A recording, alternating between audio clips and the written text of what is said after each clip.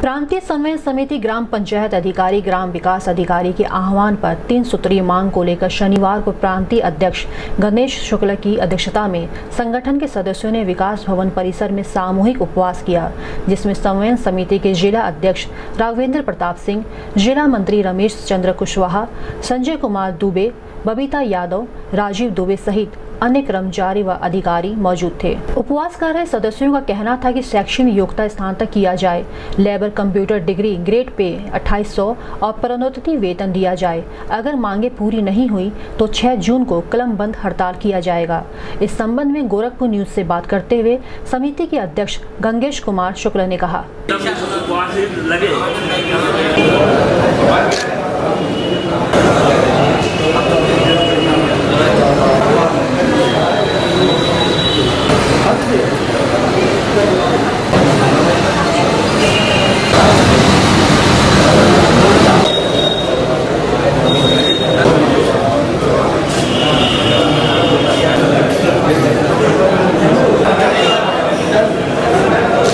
ये ग्राम पंचायत अधिकारी अधिकारी समन्वय समिति उत्तर प्रदेश हम बना हुआ है। हमारी समस्याएँ मूल तीन मांगे रखी गई हैं।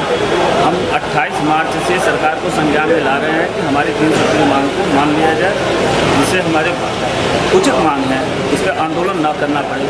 28 मार्च को हमने पहला पत्र माननीय मुख्यमंत्री को भेजा था, लेकिन उस पर कोई कार्रवाई नहीं हुई। बारह अप्रैल को पूरे ज़िले में एक दिन, एक दिवसीय धरना किया गया। उसके बाद तेईस अप्रैल को, तेईस अप्रैल को हम लोग लखनऊ में धरना किए। उसके बाद पंद्रह मई से लेकर के 26 मई तक काला फीता बाँध करके कार्यक्रम हमारा हुआ। अब हमारा दो जून का ये चरण चल रहा है। दो जून को हम उपवास रखते हैं पूरे प्रदेश में। इस तरह पूरे प्रदेश में साढ़े ग्यारह हज़ार कर्मचारी आज उपवास पर हैं। गोरखपुर में दो सौ पचहत्तर ग्राम पंचायत अधिकारी ग्राम विकास अधिकारी आज उपवास पर बैठे हुए हैं। सारे ग्राम सभा के कार्य ठप है। कोई काम नहीं हो रहा, सब लोग उपवास कर रहे हैं। कि हमारी तीन सूत्री मांग को पूरा कर दिया जाए। अगर आज को अभी नहीं मानती है सरकार तो पाँच जून से, पाँच जून से हम प्रांतीय नेतृत्व में, प्रांतीय अध्यक्ष हमारे, दोनों अमरण अनशन पर बैठेंगे अनिश्चितकालीन हड़ताल छः जून से हो जाएगा।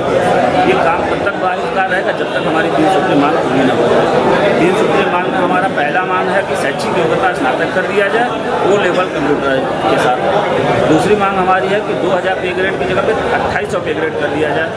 तीसरी मांग हमारी है कि 10 साल 26 साल 10 साल 16 साल 26 साल की सेवा पर हमें तीन पदोन्नतियाँ दिया जाए। पदोन्नति के 30 प्रतिशत पद बढ़ा दिए जाए। यदि ऐसा नहीं करती है सरकार तो हम कार्य से से बचकर न्याय संगत हमारी मांग है, चतुर्थ श्रेणी के बराबर हमारा वेतनमान हो चुका है। ये हमारी सबसे बड़ी पीड़ा है। रहे हैं, लेकिन सरकार ये पूर्व की सरकार भी नहीं भी नहीं सुने जबकि छठे वेतन आयोग में रिजवी कमेटी की में हमारी सुनवाई हुई थी, उसमें कमेटी भी हमको रिकमेंड की थी, लेकिन सरकार अपने अधिक रवैये से इन्होंने हमको नहीं दिया। सातवें वेतन आयोग की भी रिपोर्ट आ गई है, अब सरकार को हमारी बातें मान लेनी चाहिए, दे देनी चाहिए, ये न्याय संगत मांग है।